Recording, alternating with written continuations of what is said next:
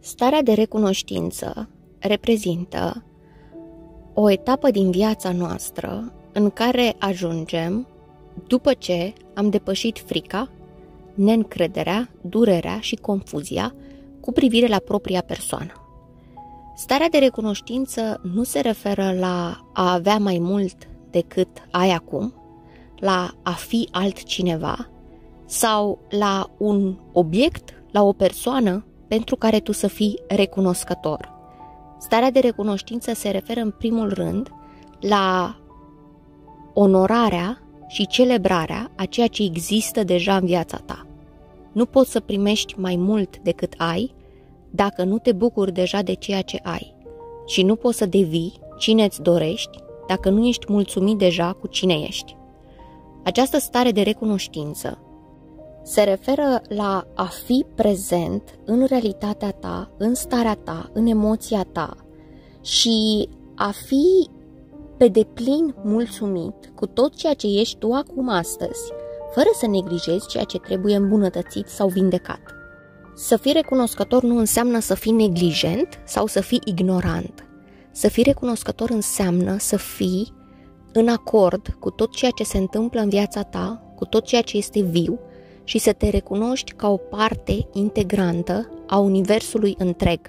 Să găsești în fiecare frunză, în fiecare adiere de vânt, în fiecare val, în fiecare privire, un motiv de recunoștință.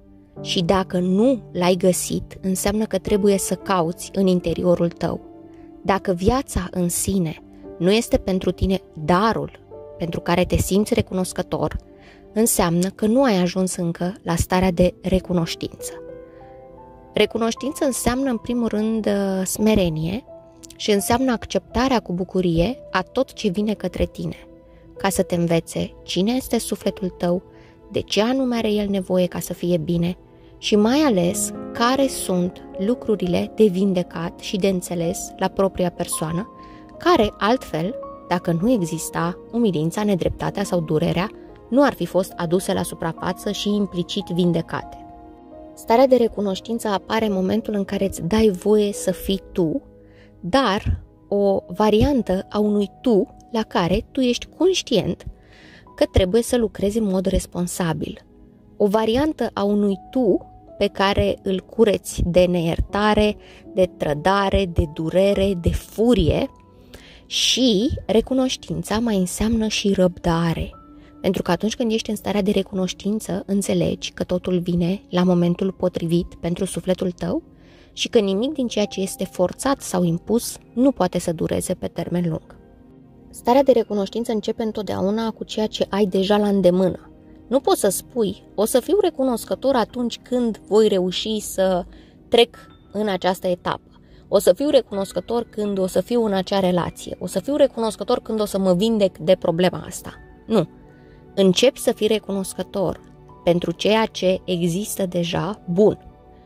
Multe persoane ar putea să spună, dar nu există nimic bun în viața mea. Ba da, în viața fiecărui om există ceva bun, doar că nu fiecare persoană este dispusă să găsească acel ceva bun pentru că a fost învățată că doar răul trebuie recunoscut și băgat în seamă. De aceea, starea de recunoștință începe de la ceea ce există deja, începe cu ceea ce eu sunt deja și se referă la lucrurile care nu au legătură neapărat cu ceva palpabil din realitatea materială.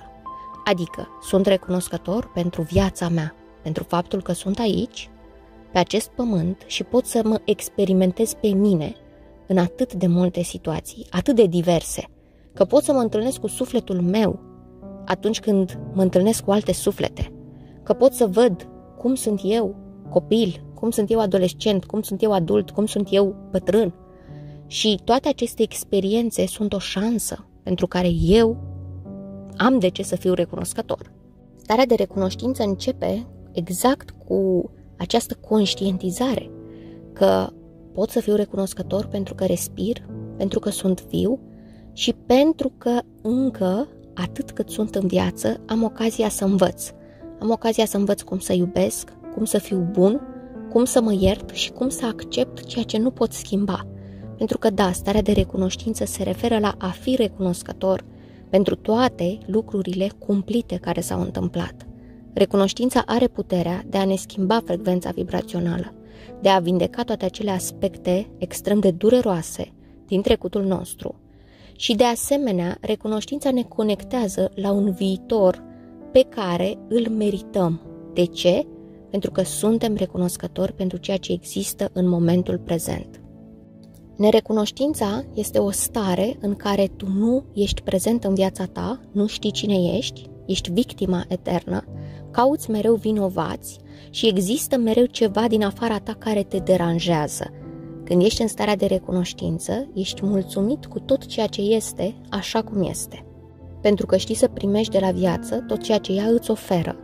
Și mai ales pentru că tu ai înțeles că în viața ta sunt și perioade bune și perioade rele, sunt și lucruri frumoase și lucruri urâte și asta nu te poate face mai puțin recunoscător, pentru că totul este într-un raport de complementaritate perfectă, pe care dacă îți iei puțin timp să o observi, înțelegi că în fiecare eveniment și persoană din viața ta este o parte din tine.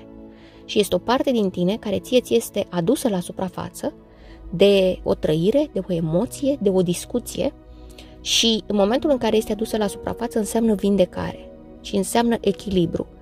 De aceea starea de recunoștință pornește de la lucrurile mici și ea trebuie cultivată în permanență și în permanență trebuie să știm cum să ne bucurăm, cum să fim recunoscători pentru tot ceea ce este în viața noastră, fără să cerem mai mult decât suntem deja.